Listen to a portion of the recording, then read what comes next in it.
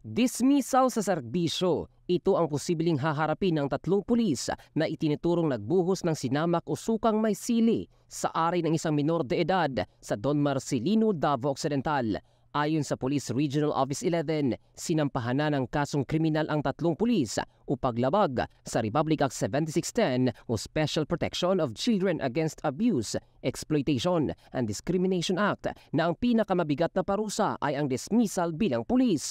Sa ngayon, iniimbestigahan na ng Davao Occidental Provincial Internal Affairs Service ang kaso habang binigyan naman ng sampung araw ang tatlong pulis na mag-submit ng counter affidavit. Matatanda ang noong nakarang buwan ay nagsumbong umano ang biktima sa mga pulis na nadistino sa sitio Pamungot, Barangay Taluguton, Don Marcelino sa nasabing lalawigan dahil sa pag-abuso sa kanya ng kanyang ama. Ngunit, imbis na tulungan ay binuhusan pa ng sinamak ang kanyang ari. Ang balitang ito ay hatid ng NutriCleanse Herbal Dietary Food Supplement Capsule.